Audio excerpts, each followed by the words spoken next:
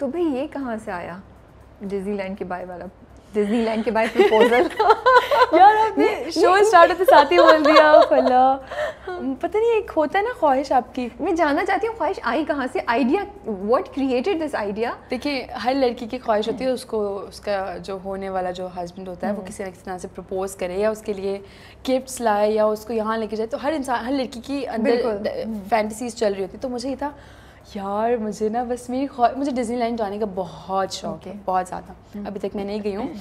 तो मुझे ये कि मैं चाहती हूँ मैं जब जाऊँ ना वहाँ तो मुझे वहाँ प्रपोज़ करे जिससे ये शादी हुई फिर मैं सोचती हूँ बैठ कि यार शादी से पहले तो मेरी अम्मा ट्रैवल करने देंगी नहीं यही कहने वाली थी। तो ये तो ऐसे ही हो सकता है कि मेरा तो यार निकाह हुआ हो या मेरी शादी हो उसके बाद में जाओ तो मज़ा भी नहीं आएगा।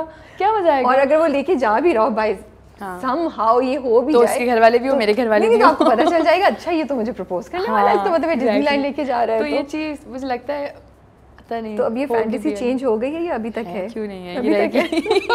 उसको करना पड़ेगा। बेशक शादी की बात करें लेकिन करना पड़ेगा। चलिए जो वो लंबी लाइन लगी हुई है भाई आप लोग पहले हांगकांग डिज्नीलैंड कोई डिज्नीलैंड में कोई स्पेसिफिक जगह पेरिस हो या अमेरिका कुछ भी चलेगा डिज्नीलैंड में चाहिए बस। शुक्र है मैंने पूछ लिया मैं तो हांगकांग भेज रही थी उन्होंने बोला नहीं पेरिस मैंने कहा कुछ भी चलेगा डिज्नीलैंड में चाहिए बस।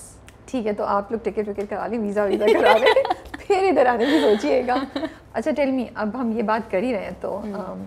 जब आप किसी से मिलती हैं तो सबसे पहली क्या चीज़ नोट करती हैं ये तो नेचुरल सी चीज़ पर्सनालिटी अच्छी होनी चाहिए मुझे लगता है ओके okay, आप इतने गुड लुकिंग नहीं है बट आपकी पर्सनालिटी होने से पता चले कोई आया है और होना चाहिए था हाँ कि okay. कोई आया है okay. ज़रूरी नहीं है कि बाल अच्छे हो या बहुत हैंडसम हो या बहुत गोरा चिट्टा हो यू नो लड़कियाँ देखती हैं नो हम्म। बस लगे कि कोई आया कि हाँ भाई एक। तो वो चीज़ में देखी कोई आमद हुई है। हाँ कोई आमद हुई है। कोई गुजरा है। कोई गुजरा है। हाँ। हवा के झोंके के साथ। जी। ओके तो what impresses you in a guy like चलें अब ये स्टेज तो गुजर हाँ। गई।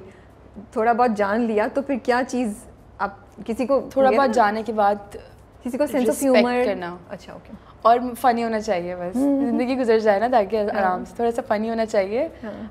हँसी खुशी रहें ताकि और रिस्पेक्ट करे बस okay. मेरी और मेरी फैमिली की हाँ. और सब की हर एक की रिस्पेक्ट करे okay. बाकी चीज़ें तो देखें खूबसूरती भी ढल जाती है पैसा आने जाने वाली चीज़ है hmm. और रिस्पेक्ट से अगर वो बोलता हो अच्छे से बोलता हो रिस्पेक्ट करनी आनी चाहिए एहसास होना चाहिए hmm. दो तीन चीज़ें जो ये मैटर करती हैं जो हर इंसान में नहीं होता एहसास बहुत ज़रूरी है hmm. एहसास होना चाहिए हर एक चीज़ का। ये आपने बहुत अच्छी बात बोली एहसास एहसास होना चाहिए। I think that's very very important very important चलिए जी वीज़ा आपने बाइक कराना है आपकी आमद का पता चला एहसास अंदर डालने थोड़ा। एहसास और रिस्पेक्ट होनी चाहिए। नहीं नहीं सेंस ऑफ़ ह्यूमर होनी चाहिए तो आप इन चीज़ों पे आप लोग काम कर हाँ, सकते हैं। सेंस ऑफ़ ह्यूमर अच्छा होना हाँ। चाहिए उसका ताकि उसे पता हो क्या चल रहा है ज़िंदगी में। अच्छा सो डिसअपॉइंटमेंट ज़िंदगी में आती रहती हैं। आप माशाल्लाह से हाफ़ से कुरान भी हैं। दुआ बड़ी इंपॉर्टेंट चीज़ होती है मुझे लगता है। तवक्ल चैलेंजेस um, ये सब किस तरीके से ज़िंदगी में आपको इनको आपने प्लेस किया हुआ है? इनका क्या रोल है आपकी ज़िंदगी में? और अब तक की अब तक की जर्नी में ज़िंदगी के इनको किस तरीके से आ, किस तरीके से आपकी ज़िंदगी को इम्पैक्ट किए अब तक? मुझे लगता है मैं वक्त से पहले बहुत बड़ी हो गई हूँ शायद हम्म। क्योंकि मैं वक्त से पहले घर से निकल गई थी मैंने अच्छे बुरे हर तरह के लोगों को देख लिया है। तो मैंने सबसे सिर्फ़ एक चीज़ ये सीखी है कि यार अच्छा आपका ना तवक्ल अल्लाह पे होना स्ट्रॉन्ग hmm.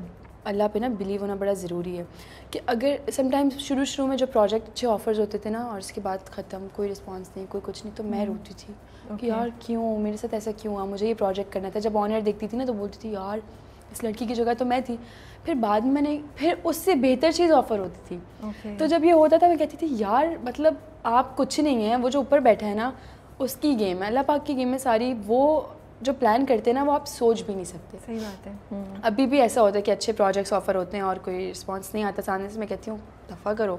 अल्लाह ताला ने इसे बेहतर प्लान किया हुआ होगा। हम्म। अच्छा ये हो गया कोई बात नहीं इसमें। अब मेरा बस ज़िंदगी का एक ये है मैंने रख लिया कि अल्लाह की बेहतरी है इसमें तभी ये हुआ है। हम्म। अल्लाह की बेहतरी है तभी ये नहीं हुआ। इस चीज़ को मैंने मुझे लगता है अगर ये मेरी ज़िंदगी में हमेशा रहेगी ना तो मैं सुकून से ज़िंदगी गुजार लूँ किसी चीज़ की टेंशन नहीं होती इससे आपको। थोड़ा सा ऊपर नीचे हो जाती हूँ सैड हो जाती हूँ थोड़ा डिसअपॉइंट हो जाती हूँ बट फिर मैं कहती हूँ कोई बात नहीं यार हम्म। मैं कुछ नहीं हूँ प्लानिंग सारी अल्लाह की अल्लाह पाक करेंगे जो करेंगे। तो इस चीज़ को मैंने अपनी ज़िंदगी में रख लिया है और इससे आपकी ज़िंदगी ना यूँ चलती है यूँ यूँ नहीं होती है। हाँ। आपकी ज़िंदगी सही चलती है। ओके दुआ कितनी इंपॉर्टेंट है आपकी ज़िंदगी? दुआ बहुत इंपॉर्टेंट है। हम्म। दुआ क्योंकि अच्छा कुछ दिन पहले मैं एक पोस्ट देख रही थी मेरे एक दोस्त हैं उन्होंने भी मुझे बताया कि इंसान को कहा जाता है कि नसीब में लिख दिया गया है। हम्म, क्या फ़िक्र है क्या ज़रूरत है कुछ करने की या दुआ करने की? हो सकता है नसीब में ही लिखा हो कि दुआ से आपका मुकद्दर आपके नसीब में लिखा हो कि जो दुआ तुम करोगे तुम्हें वो मिलेगा। तो दुआ तो बहुत इंपॉर्टेंट है। हम्म। दुआ अपने लिए भी करें दुआ दूसरों के लिए भी करें। सही बात है। अच्छा ये बताएँ कोई इंसान जो इंडस्ट्री में नया आ रहा है या आ रही है तो क्या दो से तीन चीज़ें जिसके लिए आप उनको वार्न करना चाहेंगी या आपको लगता है कि उनको ये प्रिपेयर होकर आना चाहिए या जहन में ये तीन चीज़ें रखनी चाहिए?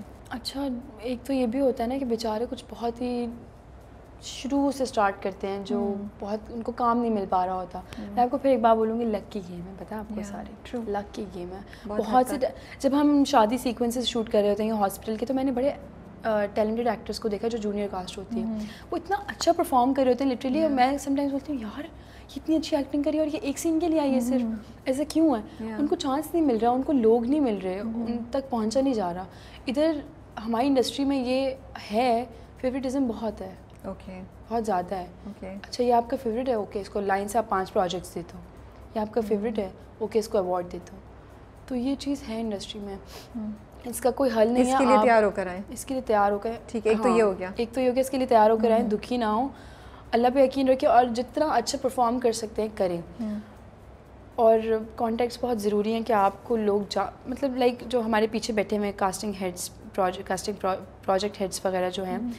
ये क्या कि आप इन तक पहुँचे इनको ऑडिशन दें अच्छे अच्छे तो तो? कैसे पहुँचे? कोई लोग हैं जिनको कैसे पहुँचे? कुछ आप एडवाइस कर सकती हैं? यार ऑनेस्टली बताऊँ तो मैं इस चीज़ में कोई एडवाइस नहीं कर सकती क्योंकि Okay. मैंने जब जब स्टार्ट किया था तो मेरी तो बहन थी ऑलरेडी फ़ील्ड yeah, में ना। Yeah. तो हमारे तो अच्छा हमारी इंडस्ट्री में इस तरह से नहीं था कोई कि एज एन एक्टर हो बैक पे काम करते थे अम्मी के कज़न बाबा Okay, के okay. कज़न तो कहीं ना कहीं वजह से से हमें रास्ता निकल। मैं ये झूठ नहीं बोलूँगी कि मैंने स्ट्रगल किया बहुत ज़्यादा और मैं जो हूँ लोगों के ऑफ़िस में जाके मैंने उनको कहा मेरा ऑडिशन ले लो। मुझे मेरे कॉन्टैक्ट्स थे थोड़े बहुत जिसके थ्रू मुझे और कॉन्टैक्ट्स मिले मैंने ऑडिशंस दिए हैं मैं बगैर ऑडिशन के नहीं आई हूँ।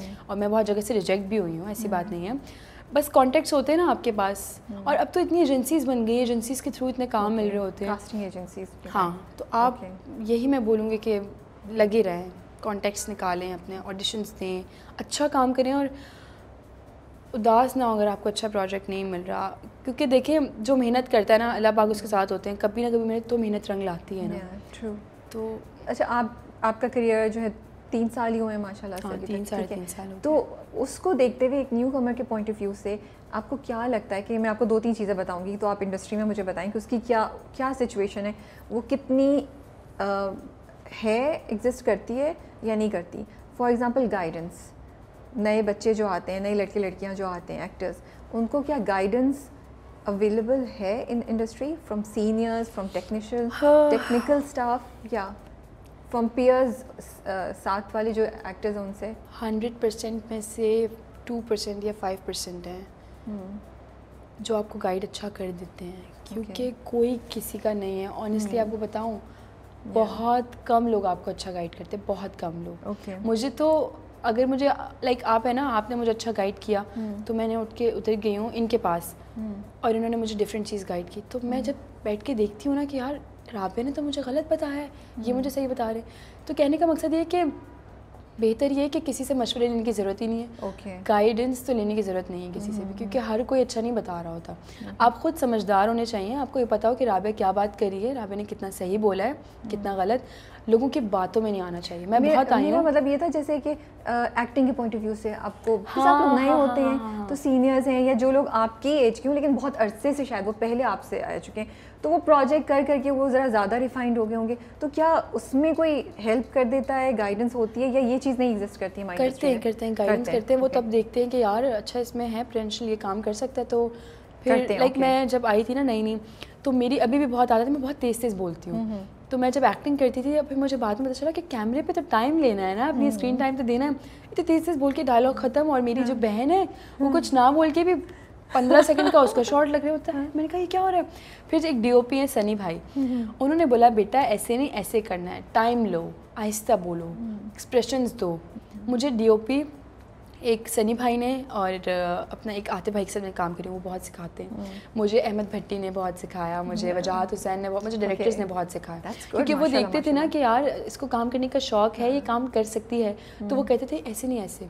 मेरी अक्सर आदत है कि मैं डायरेक्टर्स के साथ जाके ना लाइक अगर वो सीन शूट करे तो मैं उनके पीछे खड़ी हो गई मैं देख रही हूँ कि वो क्या क्योंकि मुझे कहीं ना कहीं डायरेक्टर भी तो बनना है ना. तो वो देखती थी। आप मुझे लगता है अगर आप नए एक्टर हो ना किसी के साथ सीन कर रहे हो हम्म। उसको देखो कि वो कैसे परफॉर्म कर रहे हैं